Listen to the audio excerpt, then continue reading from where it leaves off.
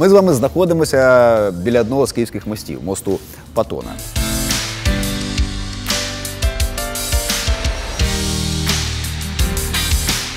Підніміть руки, будь ласка, хто проїздив цим мостом? Всі. Класно. Я теж проїжджаю щоразу, коли їду з Харкова до Києва. От, власне, звідти зі сходу України проїжджаю до центру нашої столиці. Це звичний для нас шлях, коли ми приїжджаємо з одного берега Дніпра на інший. Але саме тут, 21 січня 1990 року, відбулись події надзвичайної історичної ваги. Сотні людей вийшли на міст з обох боків річки, взялися за руки і утворили живий ланцюг. Е, Наче на кілька годин людські руки стали мостом, який з'єднав лівобережну е, та правобережну Україну. Е, Навіщо вийшли ці люди? Чого вони хотіли? Частинкою яких історичних подій вони були? Саме про це я вам зараз і розповім.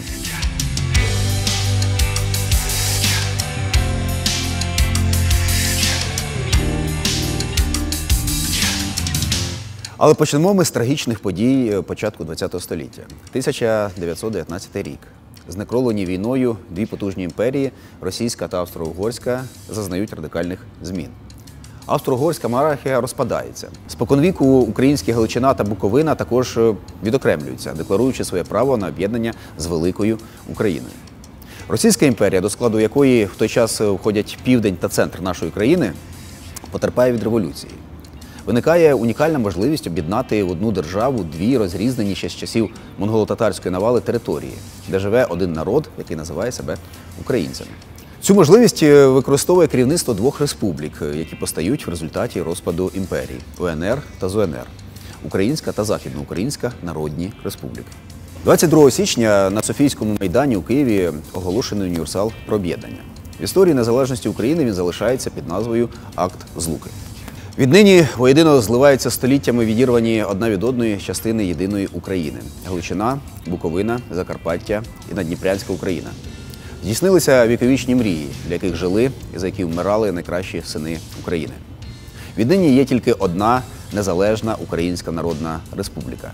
Віднині український народ, увільнений могутнім поривом своїх власних сил, має змогу об'єднати всі зусилля своїх синів для створення нероздільної, незалежної української держави на добро і щастя українського народу, говориться в універсалі. Проголошення акту злуки супроводжується грандіозним святом. До Києва приїздять великі делегації буквально з усіх міст об'єднаної України. Люди радіють, обіймаються, братаються. Закордонні журналісти що 10 хвилин шлють у свої редакції телеграми з київського поштамту. Перше за 700 років Україна постає самостійною цілісною державою. Це епохальна подія світової ваги. Та, на жаль, зберегти єдність у ті буремні часи українським урядам об'єднаних республік не вдається. Зі сходу наступають більшовики, з півдня денікінці, що отримали підтримку Антанти. На захід на Волині Галичину претендує Польща, а на Буковину входить румунське військо. Не проіснувавши й року, акт злуки скасований. Території знову розділені і захоплені новими загарбниками Польщею та Росією, яка згодом трансформується у Союз Радянських Соціалістичних Республік СРСР. Після Другої світової війни наші території загарбує Радянський Союз.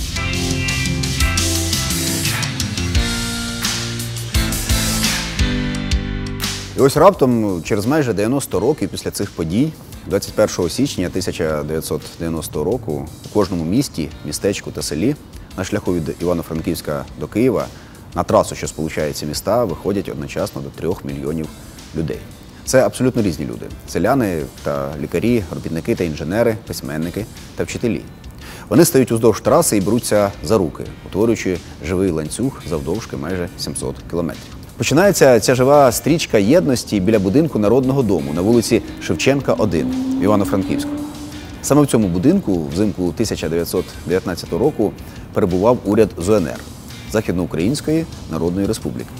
Від народного дому живий ручай людей, що тримаються за руки, пробігає вулицями міста і виходить за його межі у напрямку Львова. Біля населених пунктів збирається багато людей. Вони, взявшись за руки, розходяться уздовж траси. Щільність ланцюга неоднорідна від кількох рядів в центрі Львова до інтервалу десятки метрів в деяких районах Київщини та Житомирщини. Передбачивши ситуацію, штаб акції спрямовує в такі місця автобуси з активістами зі Львова та Івано-Франківщини. Фінансування не становить для організаторів надзвичайних проблем завдяки ентузіазму активістів.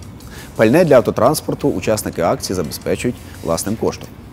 Отже, ланцюг з людей простягається до Львова, потім до Тернополя, Рівного, Житомира і звідти до Києва. Людська ріка протікає вулицями міста, і ось е, саме тут з'єднує правий і лівий береги Дніпра по мосту Патона, яскраво символізуючи єдність українських земель і прагнення бути єдиним народом у своїй суверенній незалежній державі. Нагадаю, що ця наймасштабніша у європейській історії акція відбувається ще за СРСР.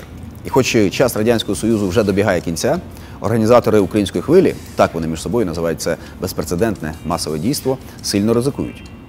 І не тільки вони, адже звичайні люди тихцем шиють до цього дня українські жовто-блакитні прапори, виготовляють тризуби. Це зараз ми вже звикли, що наш прапор жовто-блакитний, а герб тризуб. А в той час за такі речі можна було потрапити до чорних списків чи навіть у тюрму.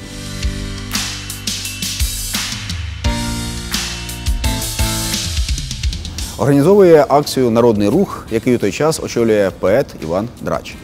Керує створенням живого ланцюга голова секретаріату руху, колишній політичний в'язень Михайло Горень. А саму ідею ланцюга єдності подає історик і дисидент Валентин Мороз. Уявіть, наскільки складно на той час було координувати дії такої кількості людей, адже мобільного зв'язку ще немає. До організації долучаються не тільки активісти народного руху, а й товариство української мови імені Тараса Григоровича Шевченка, учасники Гельсінської спілки. По суті, це майдан. Бо після того, як ланцюг розпадається, люди не йдуть по домівках. У всіх містах і селах відбуваються молебні та народні віча, де згадуються злочини комуністичної системи: голодомор, Чорнобиль, репресії, умисне спотворення української історії. Є й протидія. Центральна і місцева преса, всі газети тоді підпорядковувались комуністичній партії і комсомолу, залякують читачів можливими ексцесами. Іноді це спрацьовує, але частіше діє навпаки. Люди виходять на вулицю з цікавості. Скрізь виникають дискусії, гострі розмови про націоналізм і національну єдність. Проте всі учасники живого ланцюга і досі згадують цей день як найсвітліший в їхньому житті.